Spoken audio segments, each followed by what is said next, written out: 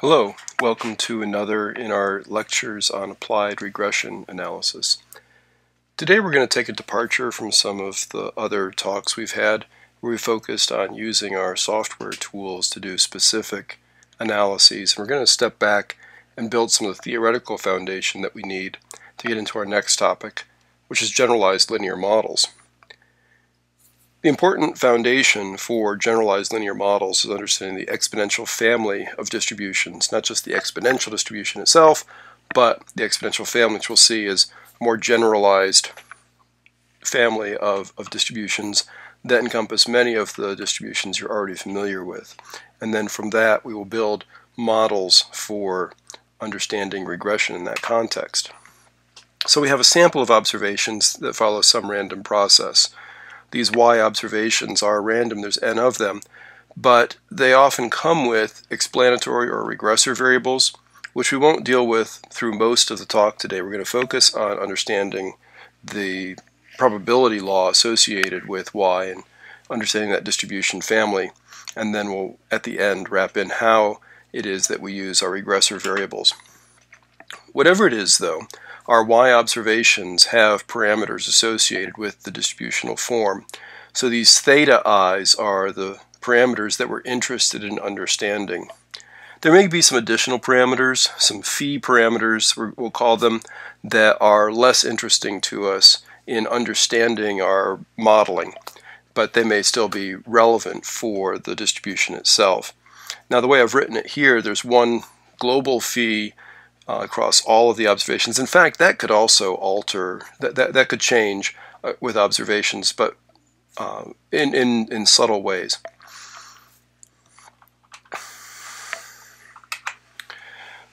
One that we can immediately think of that has this form is one that we've used in linear regression, which is the Gaussian family. The Gaussian family where each of the y observations has a mean that is mu i, and in the case of linear regression, that mu i is a linear combination of our regressor variables and their respective coefficients.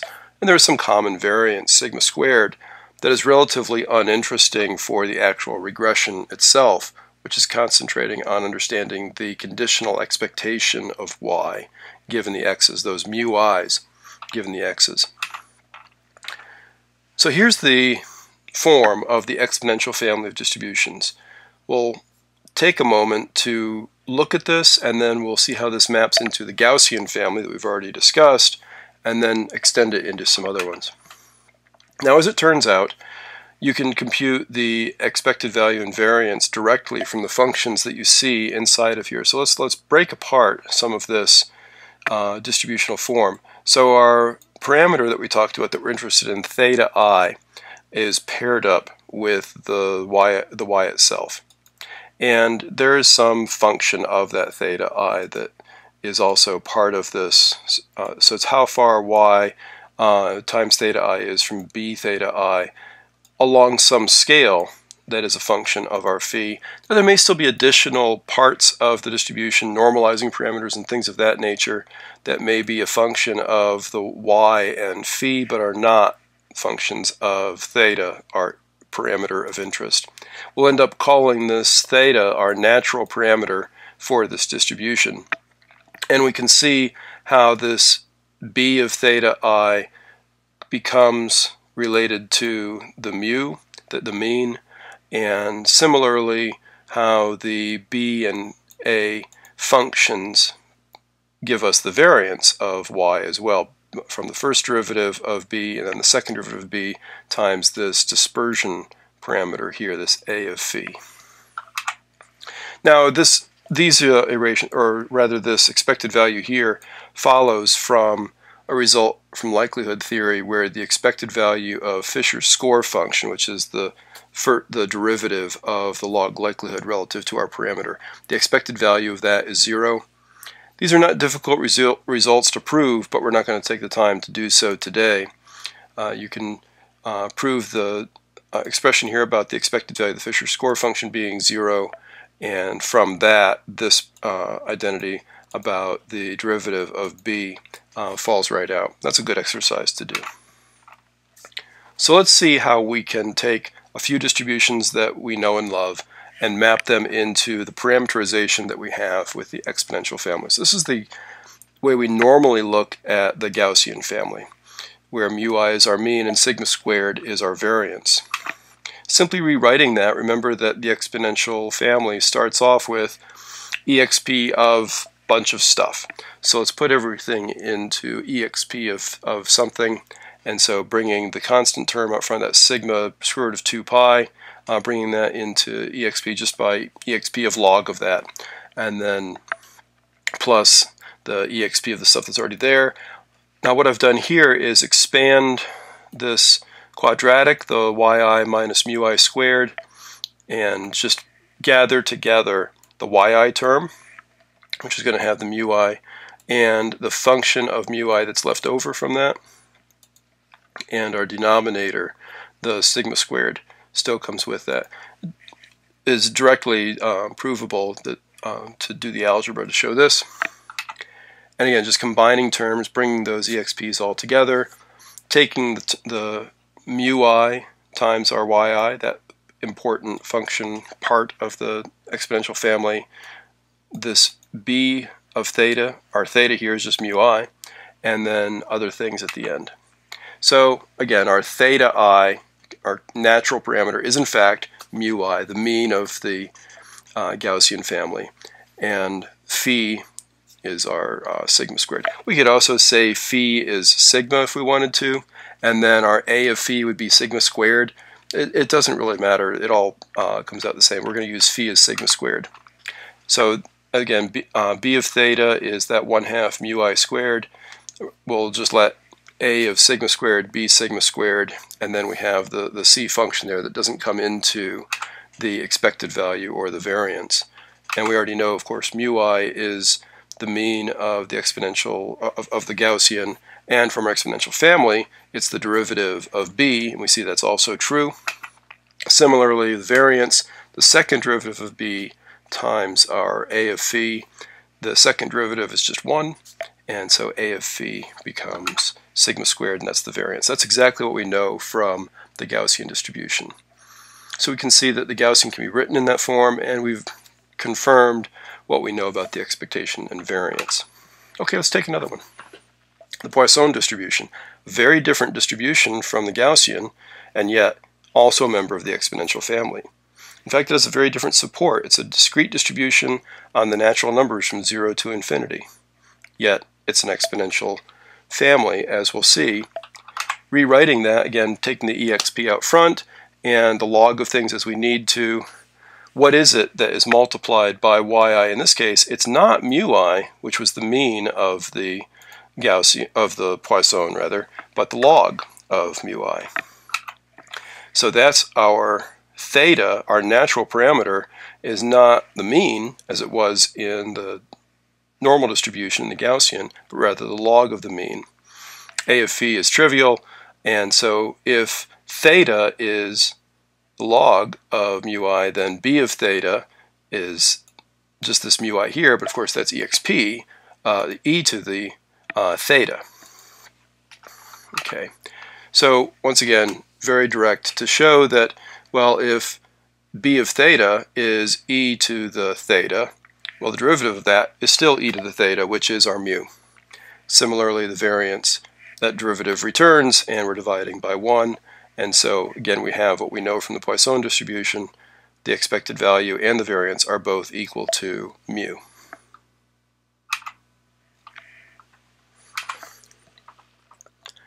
Binomial distribution, another very different support. This is on the integers between 0 and a particular sample size. So the observations, our n observations, are each binomial observations, each of which may actually have a different subsample size. So here's that where I said the phi might actually change with the observation. If that ni comes into play, then that's going to be the case sometimes we want to think of a binomial observation as the count, that 0 through n, or ni in this case. In some cases, we like to think of it as yi, which is the sample proportion. Oftentimes, the reason we're interested in understanding the binomial distribution, we're looking at the proportion of the distribution as the thing we want to draw inferences about. So oftentimes our y random variable, the uh, x divided by n, is actually the number that we're going to be interested in. We'll see how we can use that in our exponential family. Now to work with the binomial, there's a few arithmetic things that we want to have in our pocket. Now foreshadowing a bit, I'm going to let theta be log of pi over 1 minus pi just to give us the vernacular the vocabulary term of the logit function. This is the logit of pi. So it's the log of the odds ratio. The odds ratio is the probability of success divided by the probability of failure, 1 minus pi. And the log of that is what we call the logit. And just solving back the other way, uh, we can see that pi can be expressed as a function of theta. Similarly, e to the theta over 1 plus e to the theta, and also the log of uh, failure, uh, log of 1 minus pi, is negative log of 1 plus e to the theta. A little bit of work to demonstrate uh, these arithmetical identities. They're going to be convenient to us in just a moment. Okay, so here's the way we normally think of the binomial distribution. We have counts that exist between 0 and ni. They're the number of successes out of ni with a common proportion of the individual NI Bernoulli trials.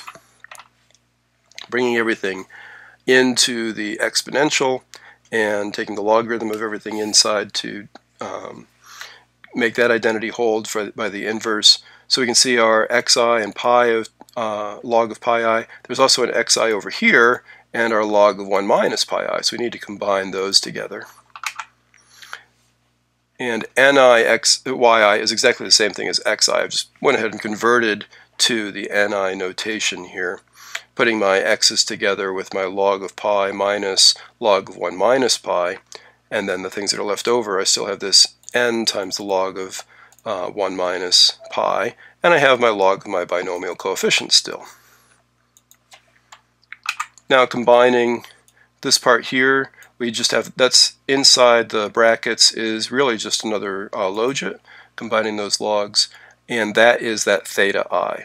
So that is, and dividing the ni down to the denominator. So our yi is now times the logit of pi.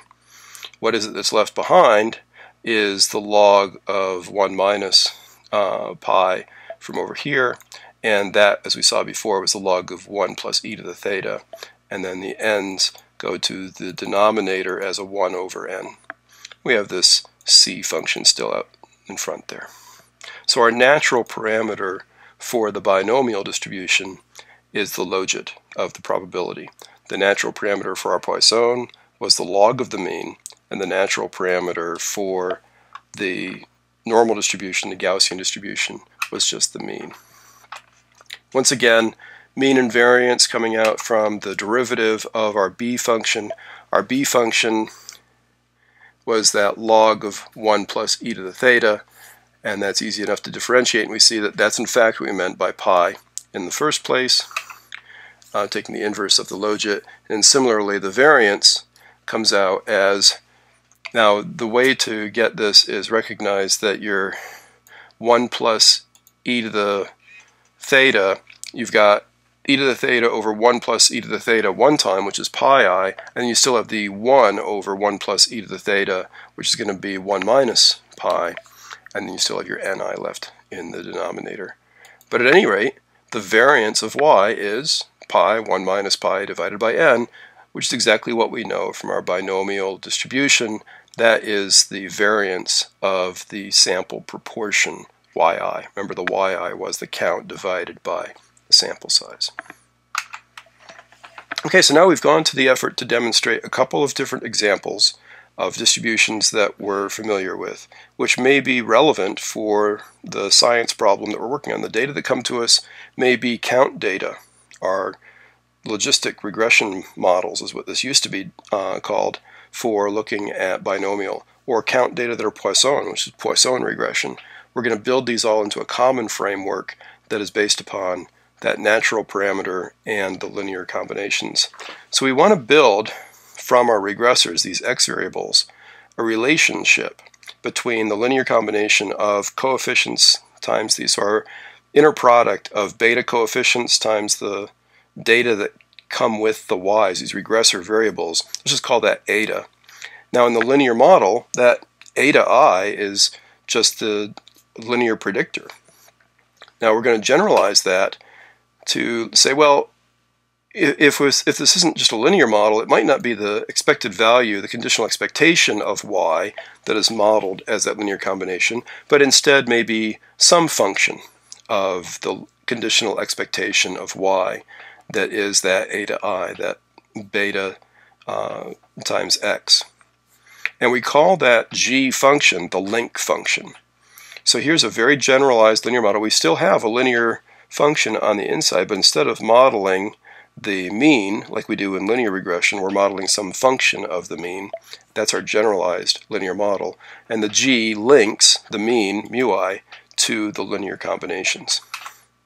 And in particular, when we use the natural parameter from our exponential family, that link function being that uh, natural parameter is what we call the canonical link. And there's many good reasons to do that. There's very desirable properties relative to maximum likelihood and so forth, why the choice of the canonical link function as that natural parameter for the exponential family is a very nice way of modeling that. Now there still may be transformations that need to happen for the x's to build our model right. We still have to assess model parameters relative to the linearity of that term, but that's a very convenient way for the theory to fall out and getting good maximum likelihood estimators and oftentimes makes for very good models. Similarly, once we have a model for g of mu i, we can invert it to get a model for mu i itself, which is the conditional expectation of y given the x's. So that's the core of what's going to happen with generalized linear models. We have these exponential family of distributions that have this link function, this, this natural parameter, and we use that to link potentially through a nonlinear function to the mean of a distribution, and that's what we really build that linear model on. And in the case of the Gaussian, the binomial, and the Poisson, we can see what those link functions are. And again, they live on very different ranges. They have their own distributional properties, and yet they all fit into this family of the exponential family. And that's what we need to do generalized linear regression.